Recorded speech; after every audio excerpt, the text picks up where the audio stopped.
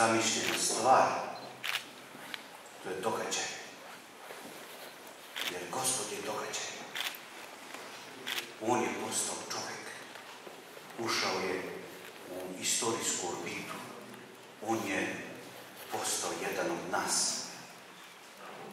Uzeo je telo ljudsko, istinsko telo. Ni prividno, niti kao, stvarno telo. Onog momenta kada je arhistrati Gavril došao i rekao izabranici Božjoj mladoj devojci Mariji da će postati, da će njena utroba primiti onoga koji ne svesti, stvoritelja sveta. Čudo. I zaista, ima li ičeg novog pod suncem nego li to što se desilo u istoriji čovečanstva? Ima li ičeg boljeg? Ima li ičeg savršenijeg nego li to da sam Bog, tvorac tvorevine, postane tvorevina. I zaista crkva veruje u to. Ne veruje nikakvu ideju o Bogu, ne mašta o Bogu,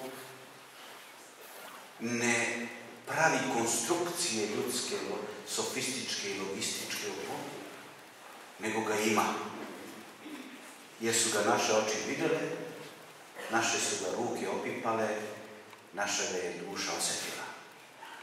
Ta vera, braće i sestre, koju su doživjeli apostoli sa pedesetnice, sa onog događaja kad je Bog poslao Duha Svetoga da učini u ovome svetu ono što ovaj svet ne može sam od sebe da učini.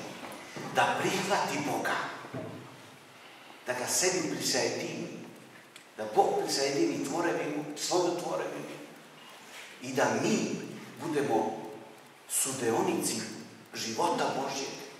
To se desilo na pedesetnici kada je Duh Sveti sišao na crkvu svoju, na narod svoj. I od tada do danas u nama živi ta radost. Radost da je Gospod Vaskrsao.